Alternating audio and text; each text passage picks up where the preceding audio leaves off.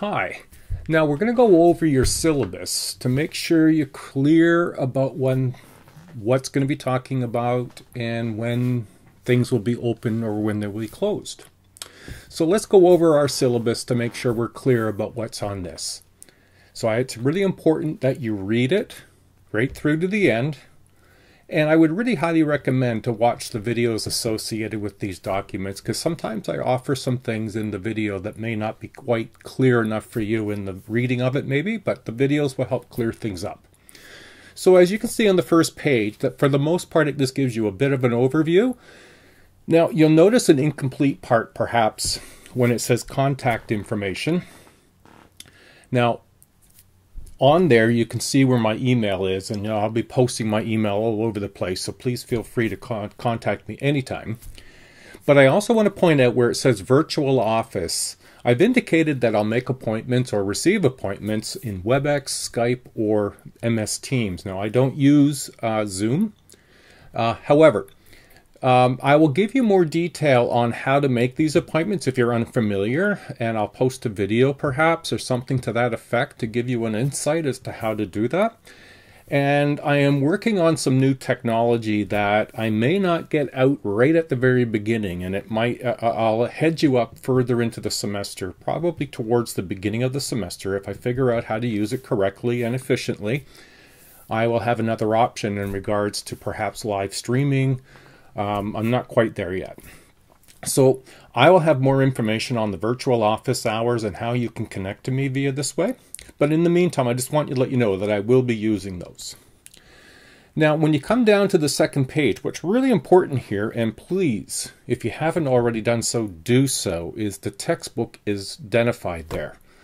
In the corner right beside where it says course textbook, it's not an option. It's really highly recommended to mandatory because you're going to be able to use that to make notes, highlight, follow along with my videos to sort of see what elements were important that I emphasized, and also to have that as a resource that when you do your online test, you'll have your notes, your textbook, and whatever other sort of resources that you've generated as a result of listening to the videos, watching the videos, making notes and stuff to prepare you for the test and to use during the test. Now, I'll talk about the test in a moment as to how that plays out and where this all plays in for you. So, what follows next in the week to week expectations is essentially every week we have something new. And I have your syllabus marked out to have, you know, a column right here, I think, of what week we're in week one, week two, week three what the kind of topic we'll be covering in that particular week will be, as in, you know, what chapter, chapters one, two, three, or what order they'll be in will be in your syllabus. The content sec- uh, section there is just to let you know, in particular, journals are opened and closed at certain times, tests are open and closed, and your assignment has a place to be posted. And so these things are important because they have dates associated with them. And so it's going to be very important that you watch the video that I've made on uh, six, you know, online success tips. And it'll some walk you around through some of the sort of time management issues that would be really critical for online delivery.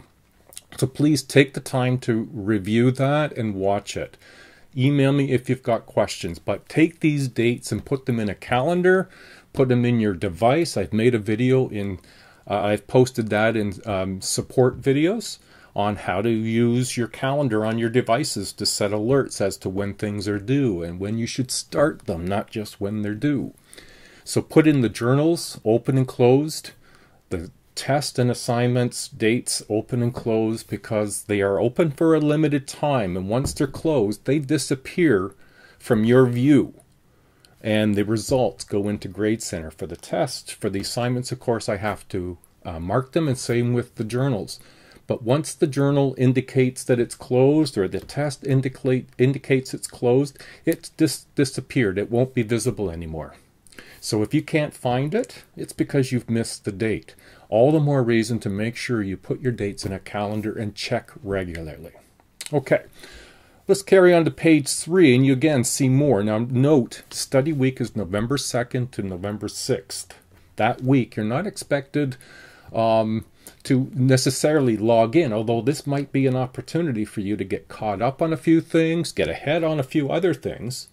And so that week there's not actually content delivered, but you will have access to Blackboard and all the content that is available to that time. Now, what follows, I've got three components. Now, one will be that you've got three tests and what the percentage for those tests combined are. So if you have three tests and they're 60%, then if you look at there's three tests, that means they're 20% each. Now what's important about the test is that they're either going to be multiple choice and true and false. Um, there will be anywhere between 50 and 60 questions on a test. Now you're going to have a complete three hours to complete them over the course of one week, say a Monday through to a Friday, a Monday at 8 to a Friday at 5. Check your syllabus because I think on the last test I've added a Sunday so that you could write your gen ed test on a Sunday while your other courses, core courses, might be offering to write them during the week of that last week in December. So make sure you check the dates. Now, the other thing to bear in mind that when you start your test, you can start the test, say Monday at 8. You are, you're eager, you're ready, and you want to start. So you go into Blackboard, you go to the week where the test is, is living, you click on the link, and you begin your test. Now, you may complete the test in an hour, and you get a grade of 72%. And maybe that makes you quite happy. But maybe you felt like you could have done a better job. Well, you've still got two hours of your three hours left. So you might go back and review your notes a bit more uh, and then try your test on Wednesday. The remaining two hours will be there and you write that test and maybe now you get 81%. So that may have been an advantage for you. Now your time might be very snug and you might find one attempt to be your best go. I just want you to know that if you're attempting one attempt, don't race through your test. You've got three complete hours, and you don't have to do it all at one time. Okay, so that's another reason why your test, sorry, in your test, your textbook is important because you can use it. And so the more you mark it up and prepare your textbook for a test where things are and identifying terms, that's why the videos that I make might be very important because I review all the content. That becomes you know, an important element for you and your success in an online class. Now you're also going to do a research um, assignment. It's going to be a research slash video assignment. Now please don't panic about, oh my God, I have to make a video. I'm going to be, I've made a video that I've put in week one. I've put in support videos. I've also put it in week seven or week eight, I think week seven. And it walks you through how to use the software to make a video that basically records your computer screen. All right, so you make a PowerPoint like you would present one in a classroom, and it goes up on the projector screen. And every time you push enter, a new action happens or slide changes. The difference here is you play that PowerPoint selection on your computer, and then Screencast-O-Matic, the software I'm going to recommend you use, will record your screen, and you just talk to either the microphone on your computer or better yet, put a USB mic, make it clear audio so that it's not hard to understand. So that's 20%. There's an assignment in the assignment and a syllabus and assignment folder in Blackboard. Read the document completely and watch the video that has me explain how to do it. And then there are five journals worth 20%, 5% each. Uh, sorry, 4% each and you will be um, uh, in those journals. They're open. And say it's it's open in week three. It's open for two weeks, but it will always live. The entry point from the journal will always live in week three. So you go to week three, you click on it, you watch the video that I've provided for you, you reflect on it, and you provide me with three to four paragraphs of thought. Now, there's no absolute right and wrong.